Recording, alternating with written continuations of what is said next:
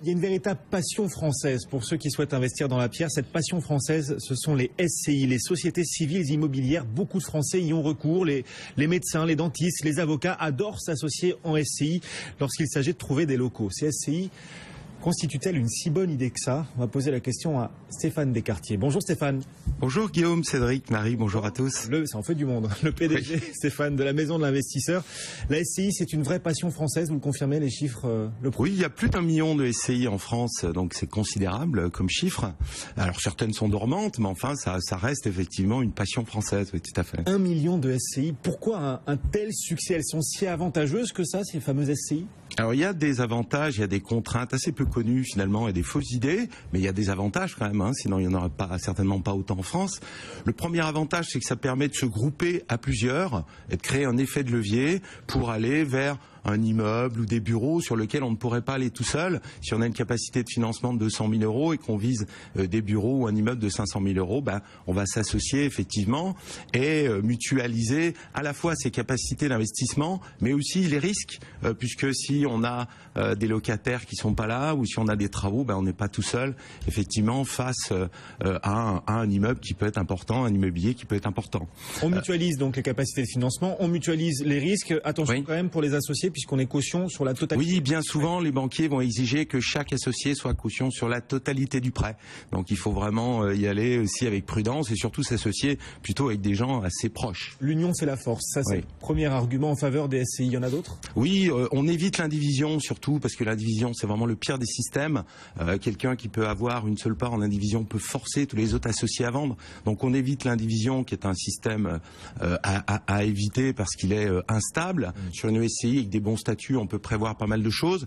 On protège mieux également ses parts de SCI lorsqu'on est chef d'entreprise et qu'on risque de faire de, mauvaises affaires. Ah bon? Avec euh, effectivement, alors par ailleurs, mais avec des bons statuts bien montés en tant que chef d'entreprise, si vous êtes minoritaire, euh, vos parts sont insaisissables euh, parce que dans les statuts, on aura prévu par exemple une majorité absolue pour vendre. donc dans les faits, eh bien, effectivement, donc même si, protéger son même si mon, mon, business de chef d'entreprise plante, le fait d'être en SCI protège le patrimoine. Si vous êtes minoritaire et avec de bons statuts, et là il ne faut pas hésiter à, faire appel euh, effectivement à des hommes de l'art pour créer des bons statuts, pas des statuts type pris sur Internet, euh, ça peut être une bonne protection pour euh, le chef d'entreprise. Bon, plein d'arguments en faveur des SCI. Mais vous, vous êtes venu nous expliquer pourquoi les SCI sont surtout un piège. Oui. Les défauts cachés des SCI. Ah bah pourquoi il faut se méfier Alors, sur, sur les avantages, un, dernier qui est, qui est, quand même important, c'est qu'on a plus de souplesse euh, sur une, avec des parts de SCI. C'est-à-dire qu'on peut se revendre euh, les parts de gré à gré. On n'est pas obligé, effectivement, de, de, faire une nouvelle mutation. Les parts sont moins chères. Quand on vend des parts de SCI, c'est 5% euh, contre 10% à peu près de frais de notaire. Donc c'est liquide. Voilà, c'est plus liquide. Puis un dernier avantage, alors qui est pas très glorieux, mais quand même il y a des gens qui font aussi des SCI pour ça, c'est que on est dans le pays de Proudhon. Hein, on se rappelle euh, nos cours de philo, la propriété c'est le vol.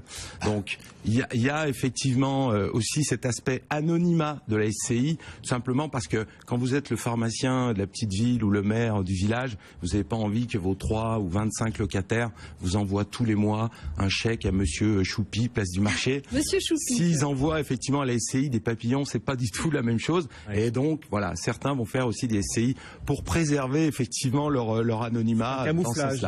Voilà, c'est du camouflage pour, pour, vivre heureux, vivons cachés, hein, selon certains. Donc là, bon, voilà, effectivement, ça peut fonctionner. Et c'est aussi pour ça donc que dans les petites villes, comme vous dites, les pharmaciens, les médecins, les plombiers adorent s'associer en, SCI aussi pour se cacher. Aussi. En plus des autres avantages. mais donc, mais donc, parfois. il y a aussi des défauts cachés oui. qu'il vaut mieux connaître avant de s'y engager. Oui, tout à fait. Alors, il y a des fausses idées qui traînent sur les SCI ici ou là, qu'on on lit un petit peu à droite à gauche. Il y a des fausses idées, par exemple, quoi la SCI apporte des avantages fiscaux Ben non, il n'y a pas d'avantages fiscaux sur la SCI, il n'y en a aucun. Zéro. On prend effectivement. J'aime bien Stéphane parce qu'il passe 5 minutes à nous dire c'est super. non, mais il faut le faire en, connaissance de cause parce que ça coûte de l'argent de faire une SCI, c'est de la paperasse en plus. Donc il faut le faire pour de bonnes raisons, pas simplement parce que son notaire ou son comptable vous indique que c'était mieux, euh, mais pour, pour de bonnes raisons. Donc, euh, alors les fausses idées qui traînent, il n'y a pas d'avantages fiscaux. Euh, on, on, remonte effectivement ses revenus fonciers en tant qu'associé exactement comme euh, à l'impôt sur le revenu, c'est exactement pareil. Il y a une petite décote sur l'ISF et encore. Euh, de 20%, mais qui est pas un texte, hein, qui est plus une, une coutume qu'autre chose, ou ce que accepte l'administration fiscale. Mais 20% de décote sur une petite tranche d'ISF, c'est autant dire rien du tout. Euh, donc il n'y a pas d'avantages fiscaux, il n'y a pas d'avantage en termes de succession. Ça, c'est aussi une, une fausse idée. Oui, il y a une légende urbaine justement, on entend souvent. Oui. Vas-y, investis en SCI, tu verras au niveau de la succession, Non, c'est hyper avantageux, pas du tout. C'est plus souple, comme on le disait tout à l'heure, Ouais. parce qu'on peut s'échanger des parts entre parents, entre enfants, euh, effectivement, mais il n'y a pas d'avantages fiscaux. Alors il y a juste le cas où au départ vous avez une forte dette dont un actif net, euh, actif moins passif qui va être proche du zéro.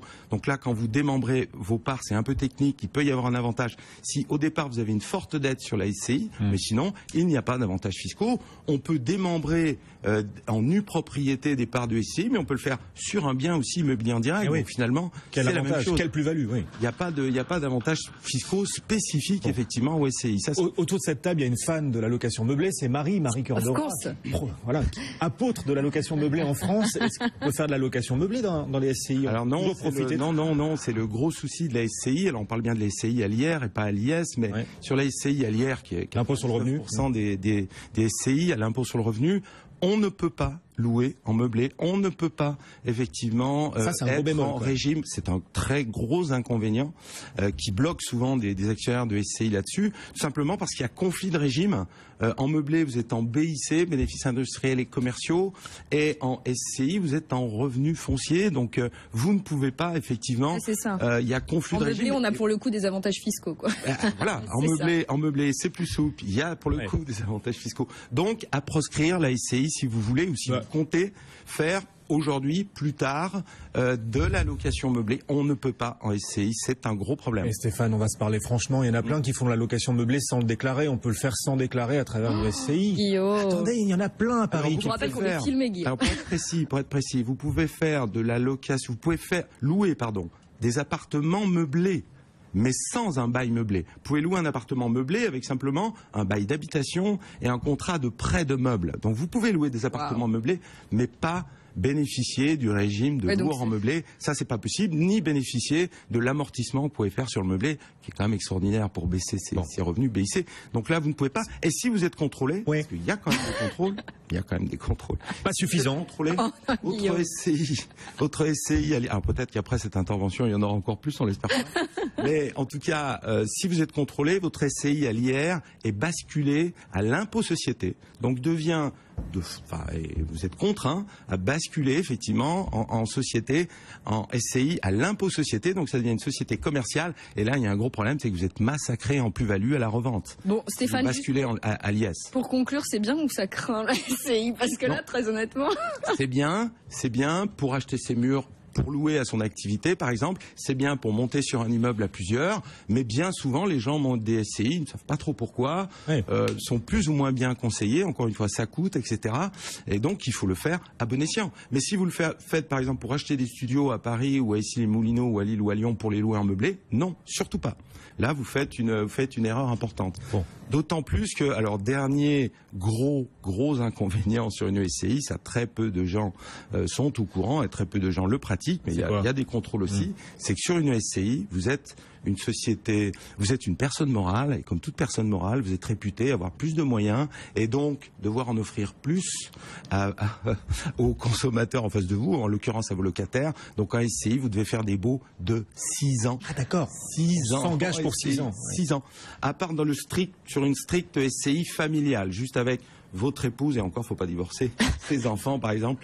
Là, vous pouvez faire des baux simplement de 3 ans. Mais une SCI classique, celle dont on parlait tout à l'heure, Hmm. avec des associés, vous devez faire des baux d'habitation de 6 ans. Ouais. Donc c'est quand même beaucoup plus compliqué. Si C'est mieux de le savoir avant de s'engager. si vous avez des perspectives notamment de récupérer ce logement pied à terre pour le récupérer pour vos enfants ou pour de la famille, eh ben il faudra attendre parfois six ans et il se renouvelle à chaque fois pour six ans. Ça c'est une très grosse contrainte qu'on oublie bien souvent sur les SCI. On est prévenu. Voilà, les SCI ont plein d'avantages. L'union fait la force, clairement, mais il y a aussi les contreparties. Il faut connaître les contreparties.